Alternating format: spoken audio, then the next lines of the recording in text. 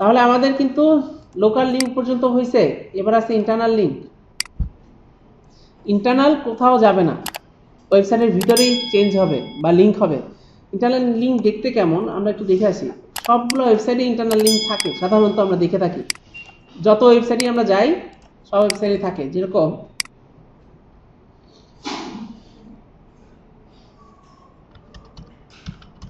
আলিবাবাতে থাকার কথা।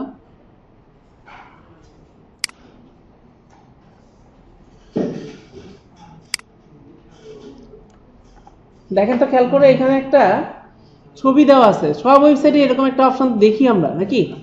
আপেরও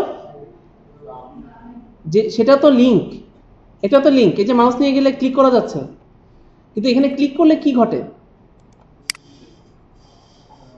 উপরে নিয়ে আসে, নাকি? খেয়াল করে দেখছি? তার মানে এটা কিন্তু কোনো ওয়েবসাইটে যায়নি জাস্ট নিজের ভিতরেই চেঞ্জ হয়েছে। কি চেঞ্জ হয়েছে? হয়তো উপরে যাচ্ছে, নিচে যাচ্ছে, এরকম। যেটাকে বলা হচ্ছে ইন্টারনাল লিঙ্ক তবে এটা ওয়েবসাইটের ভিতরেই আছে।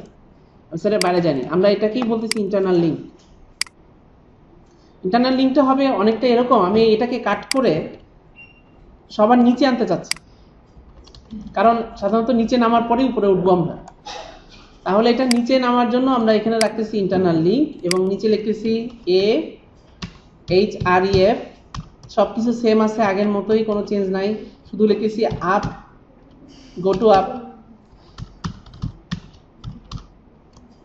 এটা শেষ করলাম। এইখানে লিঙ্কটা হবে। লিঙ্কটা হবে এরকম hash T O P top hash top তার মানে গো টু আপে ক্লিক করলে হ্যাশ টপ মানে একদম টপে চলে যাবে। হ্যাশ মানে এখানে আপনারা আজকে বুঝবেন না। যদিও আমি মুখে বলতেছি হ্যাশ মানে আইডি আজকে বুঝবেন না, কারণ এটা সিএসএস এর একটা পার্ট সিএসএস এ গিয়ে এই হ্যাশটার একটা মিনিং আছে, ওটার নাম বলা হয় আইডি আইডি সিলেক্টর তো এখন এটা মাথায় নেওয়া দরকার নেই, এখন শুধু এইটুকু মুখস্থ করেন, এই স্টেপ হ্যাশ টপ লিখলে গো টু টপে যায়, তার মানে টপ উপরের দিকে যাবে। দেখি, আমাদের ওয়েবসাইটে আসলাম, নিচের দিকে নামলাম, যেখানে লেখা আছে গো টু টপ যখন ক্লিক করলাম ওয়েবসাইটের উপরে নিয়ে আসতেছে। আবার দেখেন নিচে নামতেছি। যখন গো টু টপে ক্লিক করলাম, উপরে নিয়ে আসতেছে। বুঝতে পারছি? তার মানে এখানে তো আমরা কিছুক্ষণ আগে দেখলাম, ওর কাছে একটা বাটন আছে। আমরাও তো বাটন আনতে পারি। দরকার হলে এই বাটনটাই ডাউনলোড করে নিতে পারি। বাটনটা দেখে নিতে পারি যে এই বাটনটা কি বাটন ইউজ করছে। ইনস্পেক্ট বাটনটাতে কোনো ছবি ইউজ করছে?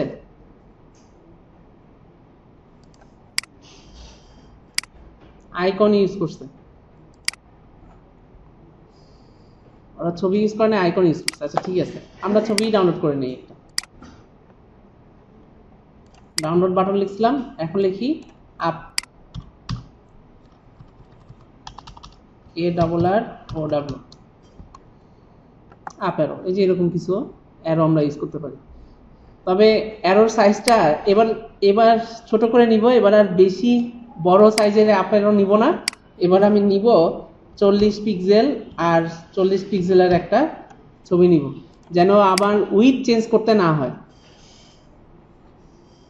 চল্লিশ পিক্সেলের আপেরও নাই। একশো।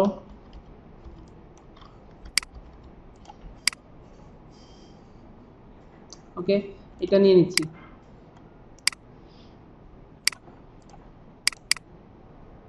সেভ এটা নাম দিচ্ছি আপ ডট পিএনজি তাহলে দেখেন, এখানে গো টু আপ লিখছিলাম, সেখানে শুধু লিখব I M G image S R C source file source ফাইলটা কোথায় দেখা দিতে হবে?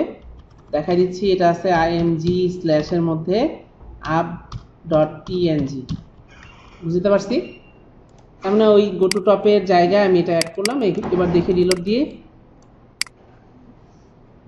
এখন যদি কেউ এখানে ক্লিক করে উপরে চলে আসবে।